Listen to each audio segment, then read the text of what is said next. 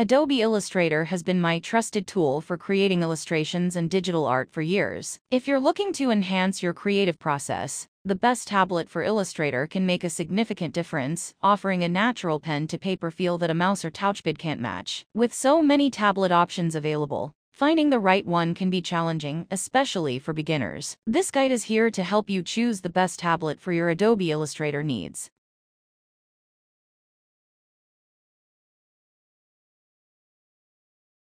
Wacom is one of the most respected brands in the art tablet industry. They have a wide range of tablets that you can use with Illustrator. From their line of tablets, Wacom Cintiq 22 is my favorite for illustrators. It features a large display size and a nice full HD resolution that is perfect for digital art. The Wacom Cintiq 22 works with Wacom Pro Pen 2, which is a professional level pen. One downside with this tablet however is that it needs to be connected to a computer to use. This is because although it comes with a nice large inbuilt screen, it lacks a computer to install the software. You will have to connect to a computer to use it. Just like any other large size tablet, you will have to buy a stand for a comfortable user experience, unlike the Wacom Cintiq 22. The new Samsung Galaxy S8 Ultra is the best Android tablet for illustrators. After years of trial and error searching for the best iPad Pro alternative, Finally here is one with massive potential. A larger AMOLED screen and high resolution sets apart this tablet from the bunch. It comes with a 14.6-inch size screen slightly larger than the iPad Pro at 12.9 inches. The resolution is lower and less clear than the iPad, but is still perfect for all your needs in Adobe Illustrator. It features lower brightness levels compared to the iPad, but will still work perfectly in a fair amount of highlight conditions. RAM and processors match up for fast lag-free usage even when multitasking. Although it is a premium-level multi-purpose tablet,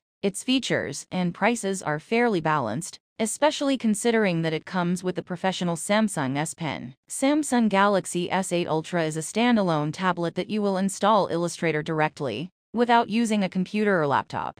Xencelabs Pen Tablet Medium is a new budget-friendly tablet that you can use for Illustrator, just like the Wacom Cintiq 22 and XP Pen Artist Pro. The Xencelabs pen tablet comes with a screen but no computer. You must connect to a computer to use where you will install your Adobe Illustrator software. The screen is slightly smaller at 13 inches, almost the same size as the Apple iPad Pro at 12.9 inches. If you are looking for a small portable tablet with no screen or computer, we recommend the Wacom Intuos S. It is a pen tablet and must be connected to a computer to be used. This means that it lacks both a computer and a screen. Once you connect to a computer, the 5.983 x 3.743 working area becomes active, and when you touch it with the pen, you will notice activity on your computer screen. The Wacom Intuos S is compatible with Chromebook, Mac, Android, and Windows operating systems. This means you can comfortably use it with your Android phone, as long as you can install Photoshop on it. You will get a battery-free Wacom Pen 4K to use for navigation. The pen features 4096 pen pressure levels on the working area. Finally, you will have three extra standard nibs in case of breakage or loss. The small size and lightweight 8.2 ounces